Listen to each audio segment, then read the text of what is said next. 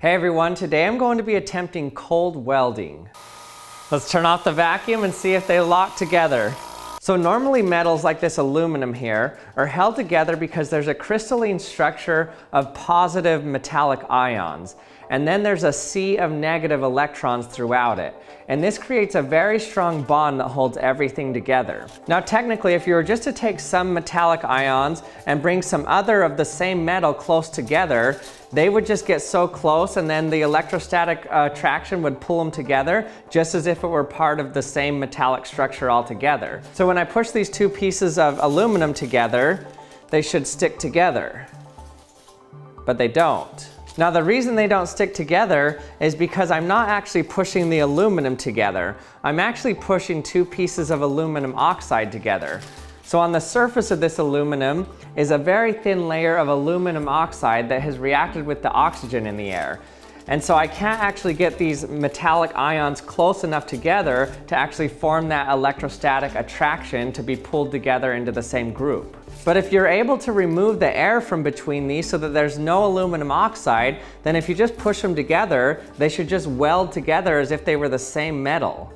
And this is called cold welding. And it actually turned out to be a problem for a lot of early satellites that they built in space where there's a vacuum. In 1991, the Galileo spacecraft, which was sent to Jupiter to monitor Jupiter and then was going to be sent into its atmosphere, it deployed its high gain antenna. What was supposed to happen on this Galileo antenna is that when they released the holding mechanism for the antenna, it was supposed to pop out similar to an umbrella. But what happened is that it didn't pop out. It got stuck like this and it never really opened. Even though they had tested it a lot before, obviously before it was launched, they found that it never opened in space. After two years of researching this problem on Earth and trying to figure out what happened, they finally found out it was a series of unfortunate events. But one of the main causes was that they used titanium. And titanium reacts very quickly with air and forms titanium oxide and it doesn't have the same coefficient of friction as pure titanium that doesn't have titanium oxide in it. So they didn't do enough tests in a vacuum when they were testing the release mechanism to know it would slide well. But when they did it in a vacuum, it didn't slide as well. So today I'm going to be trying to make cold welding happen in a vacuum, and then I'll be trying to actually make it happen in air with a specific type of metal called indium. Okay, so in order to do this, I have two pieces of gallium metal here.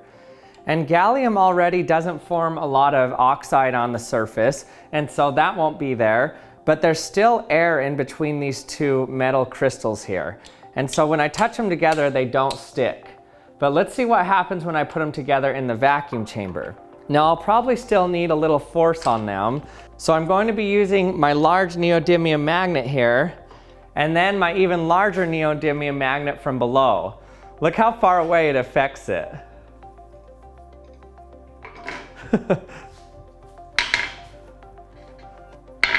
That's so crazy.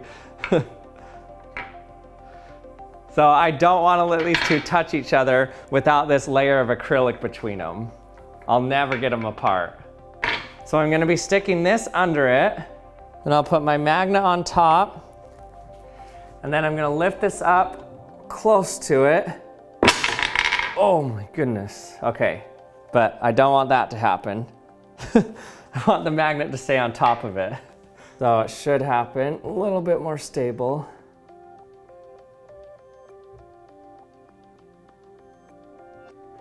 Like that.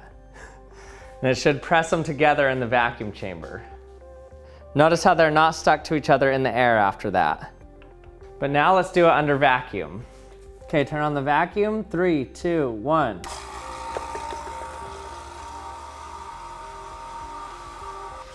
Okay, we've got a really good vacuum in there now.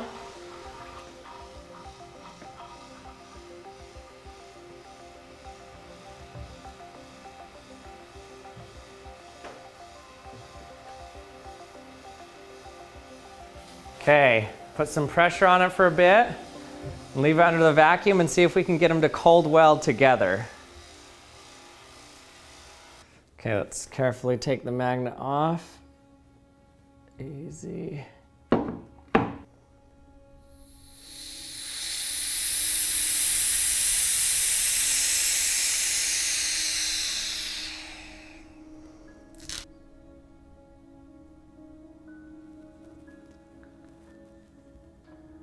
It didn't stick. Okay, so that didn't work, but I think it's because I need to put a little bit more mechanical pressure on it and even turn them a little bit to wiggle them together and get the grooves to go into each other a little more.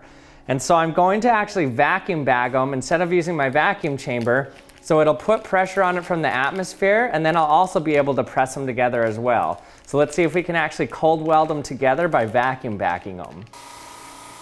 Okay, they're vacuumed on top of each other.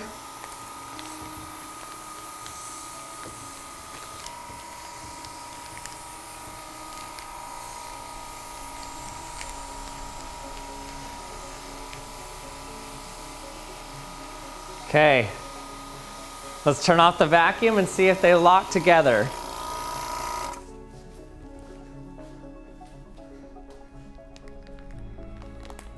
Uh, they look kind of stuck together. They're not slipping off.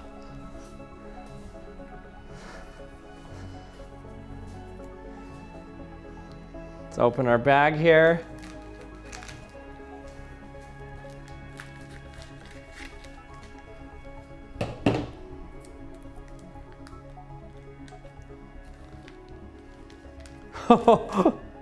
Look at that. They're stuck together. We did it. Cold welding. Cold welding in a vacuum. Look at that. Two pieces of gallium stuck together. Without any application of heat here, we were able to cold weld these. Okay, let's see how hard they are to actually pull apart. Oh, they just came right apart. So they weren't actually bonded together very well, but on the surface there, they were bonded. So I can kind of feel them stick together in the air, but they were very easily able to come together and form a cold weld under the vacuum there. Now remember, gallium melts at 85 degrees Celsius, but I'm doing this experiment well below 85 degrees Celsius. It's around 60 degrees in here, so it won't make the gallium melt at all. So the ability for this to melt has nothing to do with the cold welding here. It's actually more to do with the ability to not form a gallium oxide on the surface. Now the cool thing about cold welding is you don't actually need a vacuum chamber to do it. There are some metals in which you can cause to cold weld together even in air. Now they have to be softer metals and they can't form a lot of oxides on the surface. Now one of these metals is called indium. Indium is an extremely soft metal. I have here two one ounce ingots of indium. These two pieces of indium ingots don't stick together at all, but if you actually put them together and give them a little twist, then they stick. On the very flat surface of it, if I just touch them together and set them on top of each other, they stick together. So weird.